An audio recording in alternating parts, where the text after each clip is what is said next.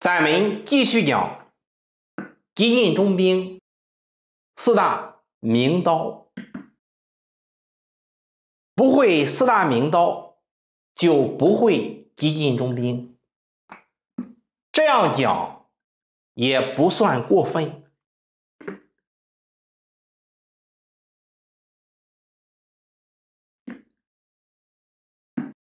前面是敌进中兵的。开局定式。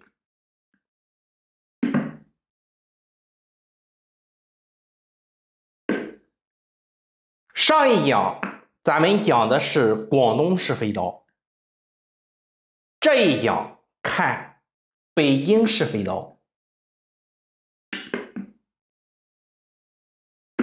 下面黑方平车捉马，在充足。这个地方是红方出路的高发节点，很容易走出进兵。如果进兵，红方就坏了。这个咱们也看一下，就说这样走了，黑方会先杀这个马，然后反击。来个响，在高车杀兵捉双，这样弃掉一个马，快速疏通子力的目的就达到了。局面至此，黑方已经确立胜势。好，咱们回到节点，那这个地方红方的正招是什么呢？北京式飞刀就来自张强和靳玉燕的实战对局。张强他大选择退马，这就是正招。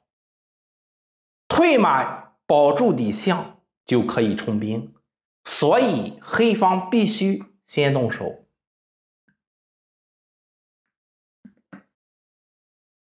下面靳玉燕大师选择。进马踹车，然后担子炮。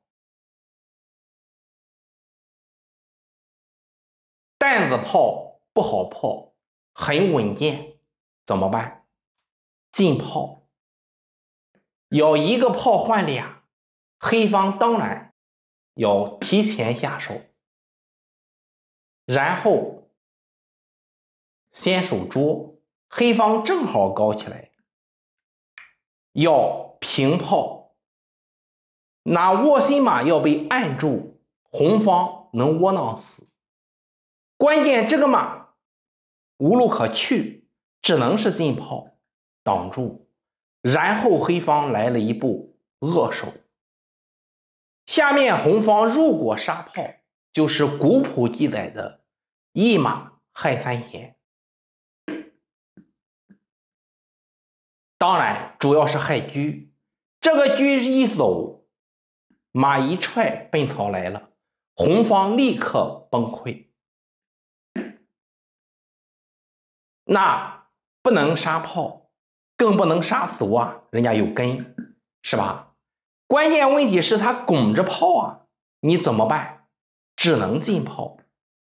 那再进炮就是无奈的选择啊，对不对？但是，威震江湖的北京式飞刀正式开启，这一步的能量如滔滔江水，连绵不绝。下面黑方如果来捉炮，就是假设就生根，那不能断根吗？直接大刀剜心。然后就没有了。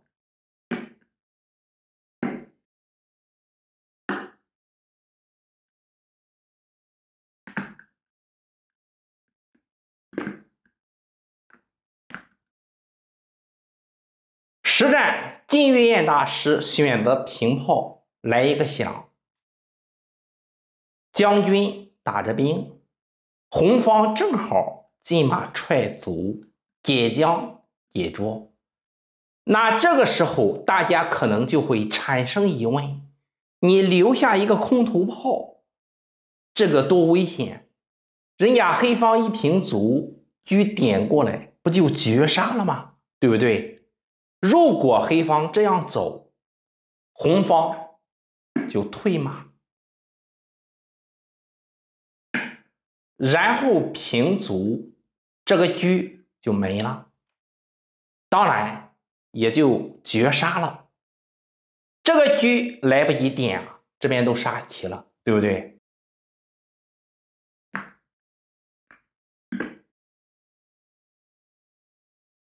实战黑方平车捉马，那我们可能还在想，红方这个马到哪里去呢？怎么走啊？人家红方不但不管这个马。而且再送一个，四大名刀的意境都非常高，所以说没有四大名刀的激进中兵，别说入门了，连皮毛都算不上。那两个马都在车口，你看着办吧。黑方如果飞象，直接打到完心。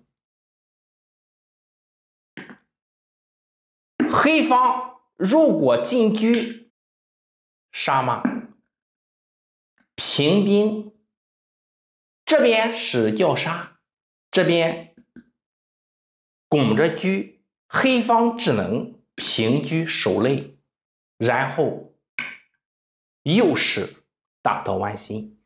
所以说，大刀剜心一天能遇八次。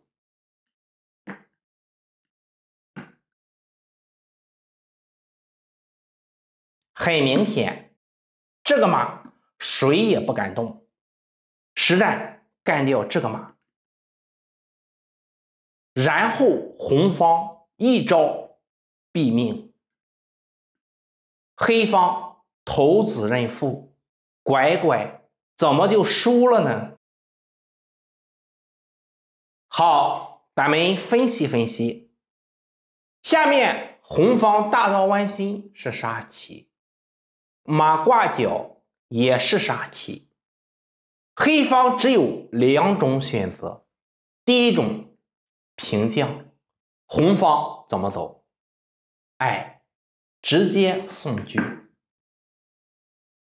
黑方如果杀车，照头一棒子只能进士，然后就没了。那这里只能回去了，又是。大刀剜心，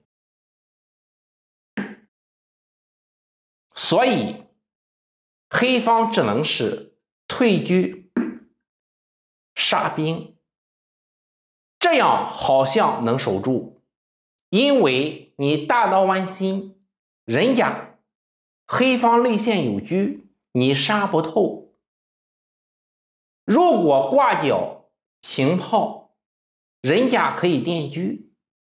两种杀法都不成立，但是一加一大于二，合起来先大到弯心，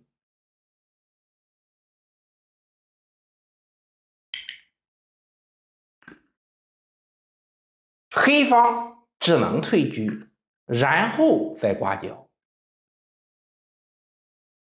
再然后呢，拜拜。